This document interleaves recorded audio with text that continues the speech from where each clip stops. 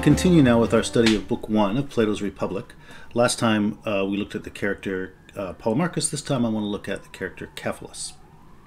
So you'll recall the dialogue began with uh, Polemarchus stopping Socrates and Glaucon when they were returning home from the Piraeus, and he said, Oh, I want you to come back to my house. And so that's basically the next scene is they're at his house. And so uh, let's read that. He says, Then we went to Polemarchus's home, and there we found Lysias and Euthydemus, Polemarchus's brothers, and in addition, Thrasymachus the Chalcedonian, and Charmantides the Paeanian, and Cleitophon the son of Aristonymus. So they go to Paul Polemarchus' house, and there's a bunch of people there. Two of them are his brothers, Lysias and Euthydemus, but there are also a number of people uh, who are visiting. One of them uh, from out of town, Thrasymachus, who we'll, we'll go on to meet shortly. Anyway, then he says, Cephalus, Paul Polemarchus' father, was also at home, and he seemed very old to me.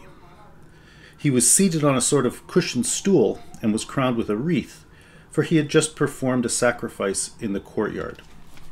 So I just wanted to start with that little opening scene, because it's the scene of a home. It's Polemarchus' home. It's a house. It's a private house. And a number of things, our attention is brought to a number of things there. First of all, uh, that he, it's a family. Polemarchus has brothers and a father. I mean, there may be women too, we don't see them. But, you know, initially you're introduced to the single character, Polemarchus, and now you see, he's got a whole family. And we actually already saw a version of that because when Polemarchus came to get Socrates and Glaucon, he was with Adeimantus, who's Glaucon's brother. So the theme of the family has actually already been raised for us in these characters. But anyway, so you see these these people. You see the home where there are other people, some of whom are guests, like Thrasymachus from Chalcedon, which is to say Istanbul. Uh, and uh, then we meet Cephalus, his father. And Socrates says he's old, so we're going to talk about that in a moment. But then he describes him. He says he's sitting on a stool, and he had a, he uh, was crowned with a wreath because he had just performed a sacrifice. And I just wanted to note that detail, because you know, at a basic level, performing a sacrifice is a religious activity. And it's a normal religious activity in the homes of these people to perform sacrifices regularly to uh, remember and honor the family ancestors. Uh, so Cephalus is doing a normal thing. But notice the contrast between that and where this whole thing began. Right, it began with Socrates and uh, Glaucon at a religious festival, which seems to be a festival celebrating the introduction of the worship of the Thracian goddess Bendis in Athens. And that's one of the things that's relevant to dating it. It, it it's uncertain exactly what the date of this dialogue is because it, we don't know about some of the details, but there's a pretty good chance it's uh, the dramatic date, like when this is supposedly taking place, is around 421 BC. There, there are competing interpretations, so that's not not the only possible answer, but that's the one that I think is most likely. Uh, and that's one of the times when it, one of the dates when it seems possible that the introduction of Bendis would have happened. Uh, anyway, there they were at this big public religious festival. And now you come into Cephalus's house, and that again begins with a religious practice. So the first thing then that I want you to notice is, you know, I've been, I've been emphasizing how the Republic starts. It starts with this verb katabane and so on. In terms of content, how does it start? Well, it starts with religion. Right? The, the, the opening scene begins with a religious festival. That's the context for the human action we're going to witness. And then you go to the house for the next scene, and it starts with a religious thing that has just happened. And that, again, is the context for the home life. So, the theme of religion is going to come up. Um, it's going to come up almost right away in some remarks Cephalus makes, and it's going to come up eh, throughout the Republic. But it always comes up in a kind of a, for lack of a better word, backhanded way. Like there's no point where people sit down and really address what religion is. But it's a thing you should be thinking about. And I, I think that there's an awful lot to learn about both good and bad ways to think about religion from this book. Uh, again, I'll, I'll, mention Plato's Apology because there, Socrates does a pretty um, interesting and compelling job of presenting how he relates to religion It'd be very good to hold that in mind as a kind of comparison to what gets said here. Anyway, here then you have uh, Cephalus performing a family religious practice in the house, and, and that's just been preceded by this huge public religious festival that anybody can participate in. So, the, the reason I'm in- interested in this introduction is because it does portray something about the house that there are guests there, that there's family there, and that there's sort of private religion there. So, I'd like you to, to be thinking about that as you read this this whole book. What happens in family homes? And indeed, what is the nature of the family? Because as you will see, that's going to become a pretty prominent issue later. Later, Socrates and, and Glaucon and Adeimantus are going to be talking about that and debating about it. But before you get into the theoretical arguments about it that those people have, you should yourself be thinking about what the reality of the family actually is. And to a significant degree, that's being put on display here. This is also a family in uh, Athens in the 5th century BC. And that's different both from your experiences of family life in, you know, for me, uh, 21st century Canada.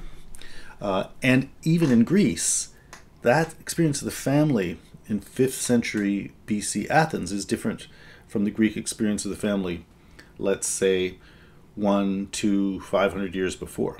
Because part of the political and social transformations in Greece at that time had to do with uh, transforming the way the status of the family was understood in society, especially the family of aristocratic people.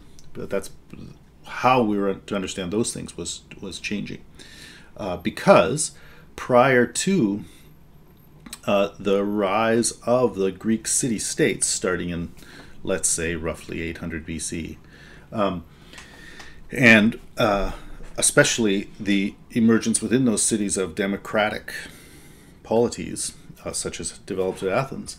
Prior to that, aristocratic families, you know, were more or less kings, and they remained a kind of noble class within these Greek cities, contending for political power against the, you know, democratic polity. So, uh, um, the status of aristocrats and aristocratic families uh, was a charged political issue in Athens. So, partially then, the portrayal of the family and what its uh, structures and implications are is is sort of I think intentionally being put on display here so that you can think about it because it is going to be a subject of considerable discussion later in the book. Uh, but yeah, so uh, you get the uh, fact of guests and who those guests are. You get the fact of family members. You get the fact of private religious celebrations honoring, you know, family ancestors and so on. And of course, just remember this all takes place within, you know, a house. So, you know, these people go into their kind of private domain and various things happen there. And as you'll see in a minute, you know, that's also the domain where private wealth is accumulated and inherited and so on. So, so think about, try to think about what the family home is as a social and political reality and think about that sort of as it's portrayed here. And indeed, this whole first book, well, I guess for that matter, the whole of the Republic, uh, is a portrayal of something that happens in a family home. Socrates, you know, more famously goes out into the agora, the marketplace, to talk with people. And he also then conducts his conversations in public, generally, uh, kind of like the Festival of Bendis. This is a private one. This is something taking place in a private home. Uh, anyway, so uh, let's let's then carry on with uh, what he then what then happens with Cephalus.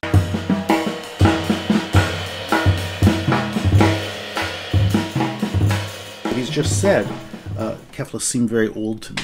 And so Socrates says at 328 D to E, I am delighted to uh, discuss with the very old, uh, since they are like men who have proceeded on a certain road that perhaps we too will have to take. For that reason, one ought, in my opinion, to learn from them what sort of road it is, whether it is rough and hard or easy and smooth. From you in particular, I should like to learn how it looks to you. Uh, so I find that quite an interesting remark, right? So the thing is about all of us, here's part of what it is to be an aging person. Uh, like that is to say, a person who ages, as we all are. We, in a way, know that we're going to get older, but we don't really know what it's going to be like. And certainly, you got to get there to find out what it's like. But you see that other people are older. And so, you know, you can rightly imagine, oh, that person is older than I am, but that person used to be a, a younger person like me. And so uh, they went from roughly here to there. Maybe that person can show me something of what it's like. Uh, I emphasize the maybe there, though, uh, because I'm, I'm sort of repeating Socrates' remark. He says, They are like men who have pr- proceeded on a certain path that perhaps we too will have to take. You know, there's no there's no guarantee that the that the path, the, the hodos, that that person is taking is going to be exactly the same as yours. Right? And so people provide a kind of um, sort of an ambivalent model for us. They show us what old age could be like, but they don't show us automatically what it's going to be like for us. Anyway, but so that's how Socrates introduces that. Uh, and so then from Cephalus, we get quite a few remarks about what old age actually is like from him. So he has said in the in the uh, uh, remarks immediately before that one of Socrates. This is at uh, 328 C to D. He said, uh, Socrates, you don't come down to the Piraeus, but uh, if I still had the strength to make the trip to town, to go up from the port of Piraeus up a couple of miles into the city of Athens, uh, there would be no need for you to come here. I would come to you. But as it is, you must come here. Uh, I mean, so one of the points then that he makes is that, you know, he can't walk as well as he used to. His, his body is weaker, and that affects, you know, his mobility.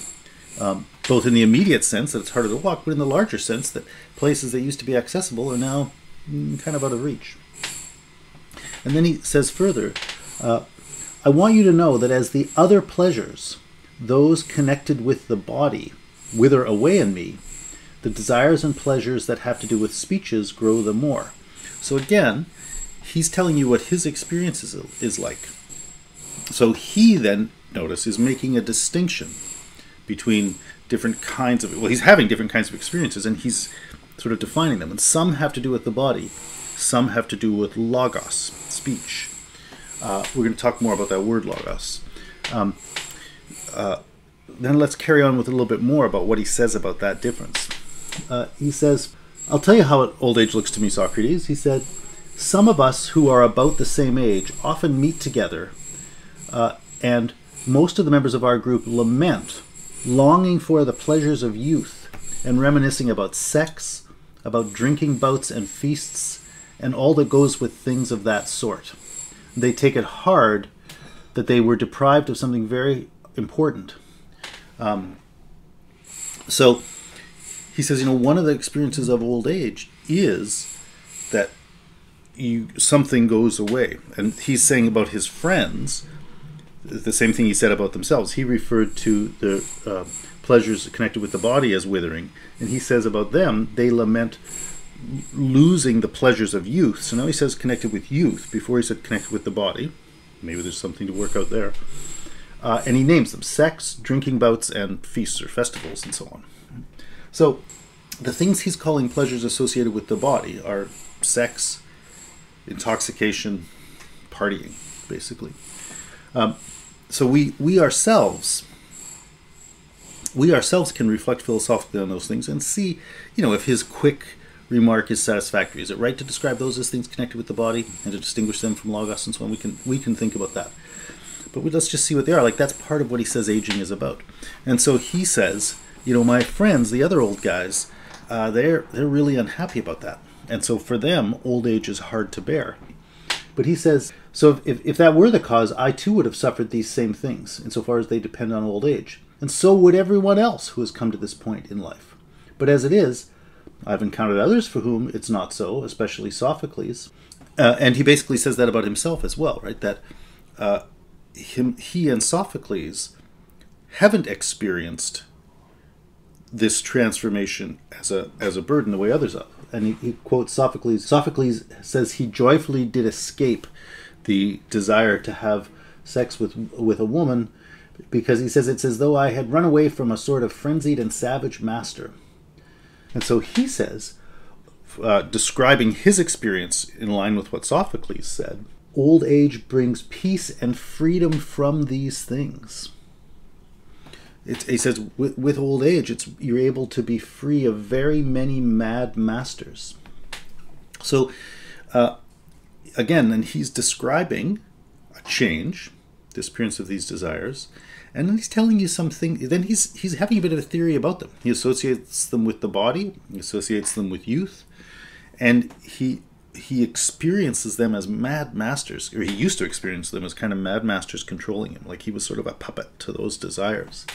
And so he actually finds old age to bring him peace and freedom from them, and he's saying he likes that.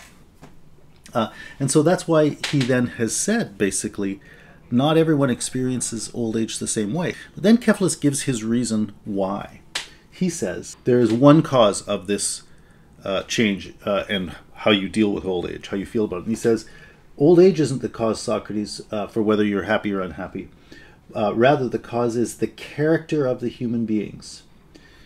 If people are orderly and content with themselves, even old age is only moderately troublesome. But if they are not, then both age, Socrates, and youth alike turn out to be hard for that sort of person.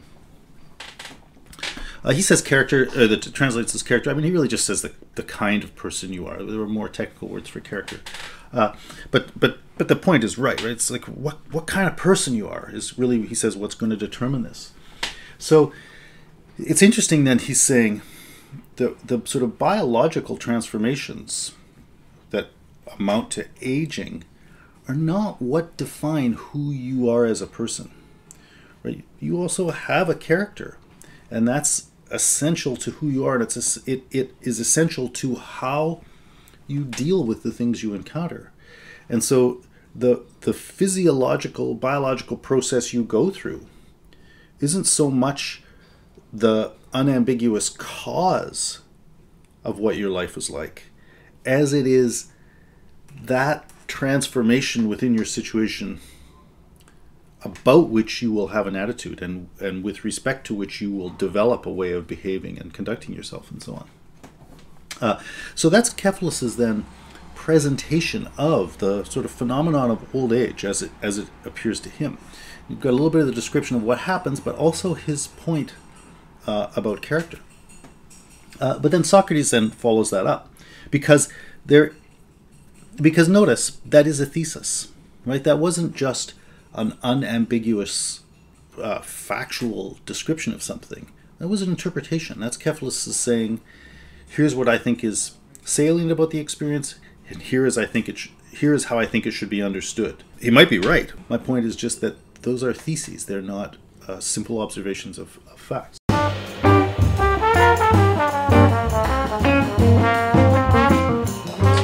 Anyway, Socrates says, uh, I was full of wonder at what he said, and wanting him to say still more, I stirred him up. And uh, here's what he said Well, Cephalus, when you say these things, I think that most people don't accept them from you. Now, you say, Oh, I'm happy because I'm a man of good character. And he says, No, people think you're happy because you're rich.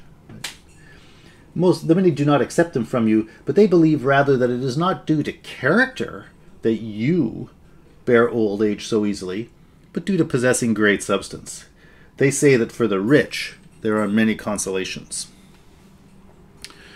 So we've gone from well, we've gone from the family house to old age to a description of that, which brings up the notions of desire, and then one other thing I'm going to mention in a moment, uh, to character, and now to wealth. Right. So we're get we're we're being brought through a series of pretty uh, big and important phenomena and starting to see their connection and their role in a in a human life. But now let's look at how Cephalus responds to Socrates' challenge. So he says, you know, you're right. This is what people say about me, but they're not right quite for the reason that they say. Right. So money does matter, but not in the way they say. And then he gives this interesting remark. He, he says. Uh, Themistocles said something. Themistocles, famous, very interesting Greek politician, uh, he, he, says that uh, once somebody from uh, Seriphos uh, uh, made fun of him, saying, "If you weren't from Athens, you know, you wouldn't be famous." And uh, Themistocles basically says, "Yeah, but if you were from Athens, you wouldn't be famous, right?" So, in other words, Themistocles is saying, "You're right. Being in Athens is essential to the fact that I've gone on to be an important person. And if I were just from a small town, nobody would have heard of me. But that doesn't mean that being in Athens automatically makes me famous. As he says, you know, you you came from a small town, uh, and uh, but but that's not why you're not famous. Because even if you were in Athens, you wouldn't be famous. Um, the relationships there, I think, are quite important uh, because they show something about the essentiality of context without context being exactly the cause. You know, you could say if if you plant a seed in concrete, it's not going to grow, right? If you plant a seed in healthy soil, good rich soil, it will grow. Right? But if you plant a dead seed in rich and healthy soil, it's not going to grow, right? So the rich and healthy soil is the essential context and the essential medium that allows growth to happen. But that growth really, the cause of it is the living impulse in the seed. Right? So it's important to distinguish between the the cause, the real cause, and the surrounding conditions that make it possible for that cause to be realized. Pretty important point. Uh, so that, anyway, that's what he says here. He says wealth uh, has made it possible for you know me to have fewer pains and problems that I have to deal with. But he's saying it remains the case that the thing that's really the cause of me being content is my character. So it's true, if I had that same character but I was poor, life would still be pretty miserable. But I could also be rich and be miserable if I didn't have a good character. But so, so then that's his response to the thing about wealth. But then Socrates continues talking about wealth uh, and Cephalus' relationship to it. Uh, so he says, Cephalus, did you inherit or did you earn most of what you possess? And Cephalus goes on to answer that. He inherited some, he earned some, and so on. And Socrates says, The reason I asked you, see, is that to me you don't seem overly fond of money. Uh, I guess that's because he has just, in a certain way, downplayed its significance in that remark. Anyway, Socrates goes on For the most part, those who do not make money themselves are that way. Uh, those who make it are twice as attached to it as others. Uh, for just as poets are fond of their poems, and fathers are fond of their children, so money makers too are serious about money as their own product. And they're also serious about it for the same reason other men are too, for its use. But notice there is more than one reason you could be interested in money. So the thing he has asked in the beginning is this distinction between inheriting and earning. And it, it's very interesting then to, to see this idea that you have a different attachment to something you've earned. I suppose because you see it as in a certain way a reflection of yourself or a reflection of your own effort. Uh, and he says, you know, that's why poets love their poems and so on. Uh, and so Cephalus hasn't really quite demonstrated that attitude towards his money, perhaps. Uh, so, so that's what you know. That's what happens when you earn something. I guess the thing I find interesting is is the thing that's not said. What's your relationship to something that you've inherited? I guess when you have inherited it, you haven't done the work in, required to make it come into being. And consequently, you don't appreciate that about it. You don't really grasp the work that's embodied in the fact of that thing's being there, the fact of you having that thing. So, yeah, when you earn things, you're, you're really fond of them. Maybe when you inherit them, you're kind of uh, not fond enough of them. Or maybe fond isn't quite the right word. Maybe you don't really appreciate quite what you have. Uh, so I'd like you to think about that issue throughout the reading because I think this point here about inheriting and earning is uh, one of the guiding themes uh, of the remaining work. And, the, and basically the question is, what I suppose, what should your relationship be towards your inheritance? And also, it may be even more basic than that. Notice the things you've had that you've inherited that you didn't earn. And this would be a very worthwhile thing for you to think about on your own. The, the Republic is going to draw our attention, I think, to quite a few of them. And uh, really, it's going to be drawing our attention to that way. We have inherited these things. So, in a sense, we have a debt. Uh, but we take them for granted because we haven't earned them. And consequently, our relationship to our debt is, is not quite right. There's a bit of a mismatch there. I think that's what's going to happen. Anyway, now Socrates and Cephalus go on to their last big exchange, uh, where I think the uh, things that are most sort of striking about Cephalus really come out. Um, and so Socrates said, Okay, so tell me, what is the greatest good that you have had from possessing wealth? And uh, says, Well, most people might not think this, uh, but he says, uh, When a man comes near to the realization that he will be making an end, dying. Fear and care enter him for things to which he gave no thought before. The tales told him about what is in Hades, namely, that the one who has done unjust deeds here must pay the penalty there. These tales at which he laughed up till then now make his soul twist and turn because he fears they might be true. So he says then about that person, you know, when you're in that state of fear, he says, uh, he reckons up his accounts and considers whether he has done anything unjust to anyone. Now, the man who finds many unjust deeds in his life wakes from his sleep in fright like children do, and lives in anticipation of evil. Whereas the man who is conscious in himself of no unjust deed uh, has hope, sweet and good hope are beside him. They're a nurse for his old age. Uh, and then he quotes Pindar, uh, and I'll just note that he quotes Pindar in a minute. His son Polemarchus is going to quote Simonides.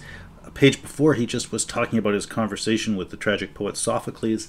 The quoting of Pindar and then his son's quoting of Simonides means those guys had traditional aristocratic education where they studied the, these guys, these lyric poets, and use them, and you know Homer and Hesiod, and use them as their textbooks. Le- learned about the world through the the poetic culture of the of the of Greece, right? Uh, anyway, so he quotes Pindar, and then he says, to bring his point to a conclusion, uh, I count the possession of money most worthwhile, or Rothwhile as uh, Bloom translates it, I don't know why, uh, not for any man, but for a decent and orderly one. Right? The, he says, for this I count the possession most worthwhile. The possession of money contributes a great deal to not cheating or lying to any man against one's will. Notice that doesn't mean he didn't cheat or lie intentionally. But anyway, and he says, uh, and moreover, to not departing for that other place frightened because one owes some sacrifices to a god or money to a human being. Uh, it also has other uses, but this is this is the this is the best one. Uh, this is the one for which wealth is useful to, he says, an intelligent man, a man having nous. Nous is another word we're going to come up, uh, we're going to be dealing with a fair bit. That's that's Cephalus's big contribution.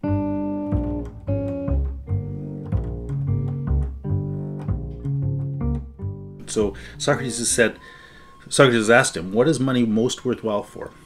And he says, it's most worthwhile for dealing with this issue in human life. And then he said what the issue is. And he says, well, when you're a, you know, when a man comes near to knowing he's going to die, so he doesn't say this. He doesn't say this about himself. He's acting as if this is a kind of universal condition.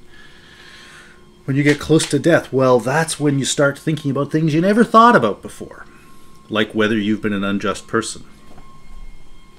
Some of us think of that a little earlier. But anyway, he says people don't really think about that.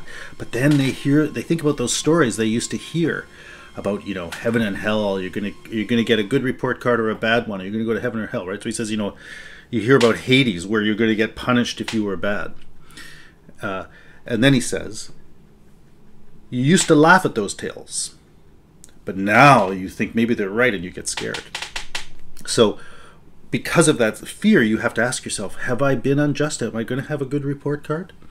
And so he says the thing that money is most valuable for is allowing you to make sure you have a good report card because you can pay back debts, you can pay your bills, and you can pay for enough uh, cows or whatever to sacrifice to the gods so you know you've got you know good account books with other people good account books with the gods and therefore you haven't had to lie or cheat to get away with things so that's that's what money allows um, uh, well whether or not that's the best way to think about money again is an interesting question in its own right but that's not the thing that seems to me uh, most striking about this the thing socrates is going to pick up on as we already talked about uh, last time when we were focusing more on Polemarchus, Socrates picks up on this account of justice. Like, is this an adequate way to think about justice?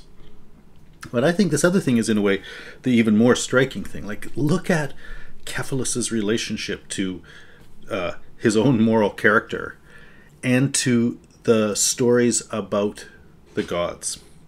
Uh, he says about himself that he's a man of good character, and yet he also basically says, Yeah, I never paid attention to the moral issues until I'm near death, right? That's that's when you think about things you never thought about before, like namely whether you've been doing a good job of being a moral being. That doesn't exactly sound to me like a, a great example of fine moral character. So uh, I, guess my point there is I'm not sure that the thing Cephalus is saying here is particularly universal. It might be common, not universal. Uh, though maybe some may, there may be something quite important.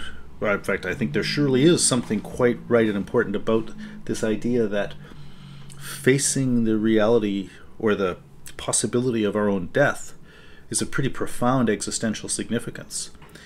And probably it does have pretty profound relationship to this idea that we look at our life as a whole and kind of assess it. Right? So I think the thing he's saying there sounds pretty right.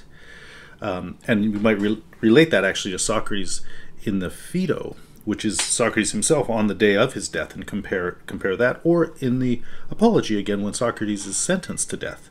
You could think about how Socrates talks about his relationship to those issues, and I think you'll see that he handles them quite differently than Cephalus. But so, I, as I say, I think I think there's something right about saying that our relationship to our own mortality um, can be an important domain for us having moral reflections on our life as a whole and so on. But I'm not. I, I don't think Cephalus's particular relationship to that is is the only or the best one. Uh, there, I'm just talking about you know not thinking about things till the last minute. But then he also describes more. He says uh, that's when you start um, thinking back on these stories you heard. Well, what are the stories? The stories about Hades, right?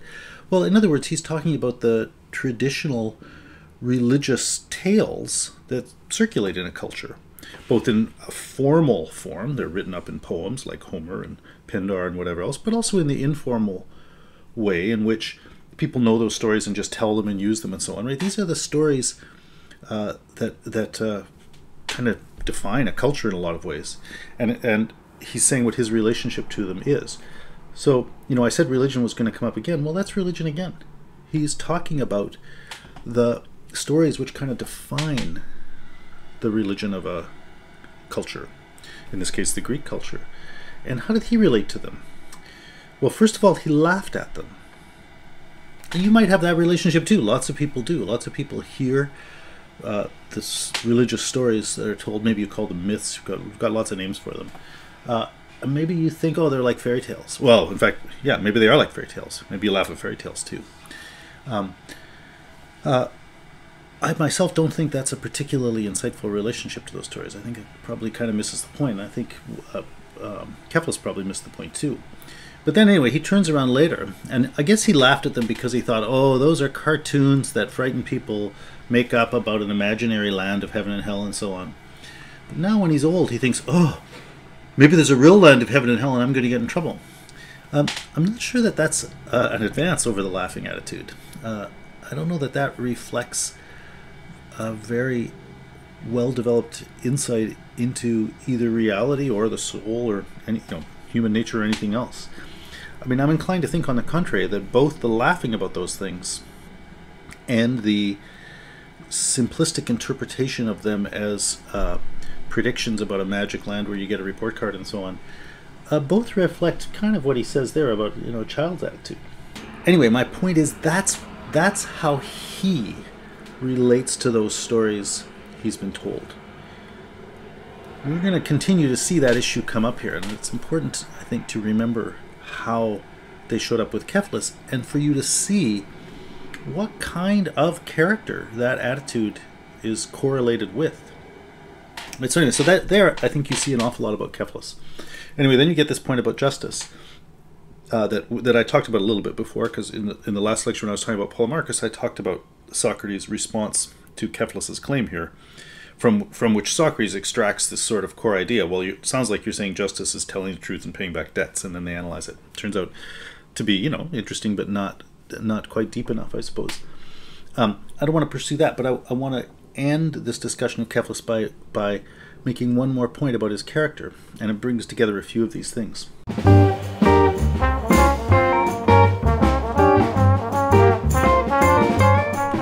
So, uh, back at the beginning, when Cephalus said, "Oh, Socrates, it's great that you're here because now that you know I don't have these desires of the body anymore, what I'm really into is logos, right? Uh, I'm really into speeches or arguments, however you want to construe that word. And as I said, we will talk about logos uh, more. Uh, but so he wants Socrates to have a good conversation with him, or so he says. So here, uh, they're having a conversation, it seems. Socrates is asking him questions, very interesting questions, and lots and lots of really big and powerful issues come up here.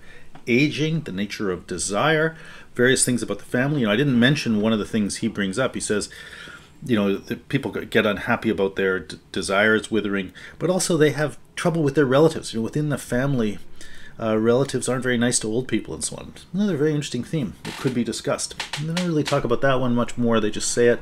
This issue of Themistocles and the Seriphian as an analogy for the relative importance of character versus wealth. That's raised, not pursued that much. Theme of inheritance and earning, huge theme raised. Another theme raised here about the stories of the gods, how you deal with the assessment of your own moral character as you're uh, dying or when you care about that. So much stuff comes up here. So, you know, he said he wanted to have a big conversation. It seems like they're talking about some pretty exciting stuff. And then he says this thing about, um, you know, what why it's most most worthwhile. And Socrates says, you know, I don't think that that does that doesn't sound quite right as an account of justice because you put it this way. But but what, what, what how would you deal with this this thing? Right? And he's gone. As soon as Socrates raises that question, Polemarchus jumps in to say he's going to answer it. But Cephalus says, Yeah, it's great talking with you, Socrates. I got to go off to back to the sacrifices. And he takes off. So, you know, the thing that Socrates is most famous for is this sort of questioning thing. Well, he did that already when he says, uh, I stirred him up by asking about wealth. Uh, so there he challenged him a bit. Um, then he talked about. Uh, uh more with him about money, but didn't really challenge him again. But now he challenges him a little bit on justice, and uh, just doesn't want to carry on with it. So uh, I wonder then, or you know, I I look at that as a as a reflection on Cephalus's claim that now that the pleasures of the body have, have withered, he really is committed to the pleasures of speech or logos. I look at that and I think hmm, he doesn't seem very interested in that he may like to entertain himself by being the guy who's asked to say wise things or something like that. But it doesn't seem like he wants to investigate things. Certainly not the way Socrates does. Certainly not the way Socrates does when he's 70 years old and about to die, right, in the Phaedo or in the Apology. With Socrates' old age, the extreme commitment to the need to work through these arguments uh, remains just as pronounced as it was in, in his the, the youngest stories of him that are reported. Whereas Cephalus doesn't seem to have much uh, energy for that, much interest in that.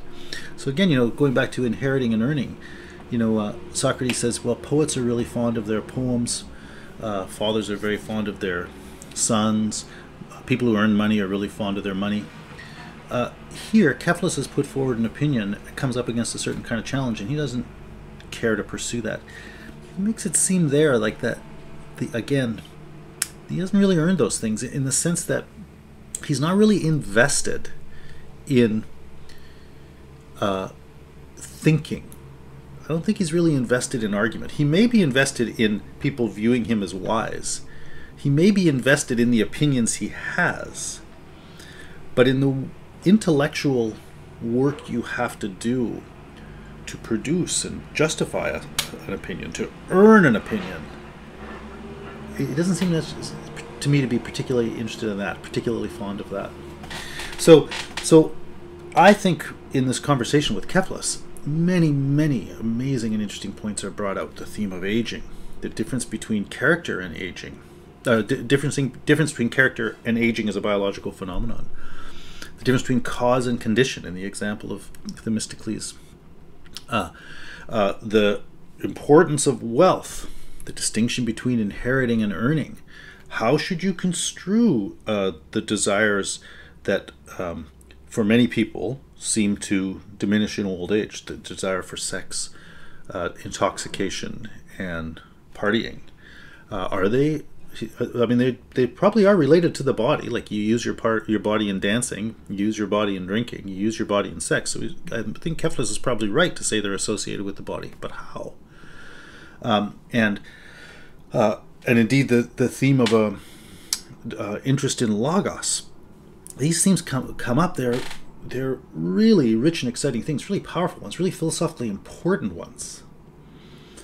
So I get that out of this conversation with Cephalus, and then actually in the background, the larger philosophical theme of the nature of the family, but I guess that's not really what they're talking about. But in terms of the things they're talking about, really big stuff comes out here.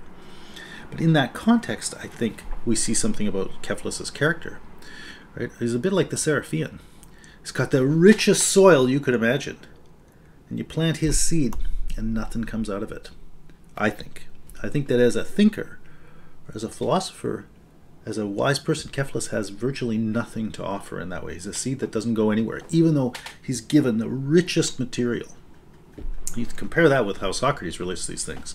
It's a very different story. So, you know, I was I was wanting to compare the different characters in Book One of the Republic. Last time we looked at um, Polemarchus. This time we're looking at Cephalus, and I think you can see a, a very big difference there between how Cephalus responds to Socrates' challenges and where he goes with that, and how Polemarchus responds. Right? Cephalus wants to sit back and be wise, and he's not going to argue, and he takes off.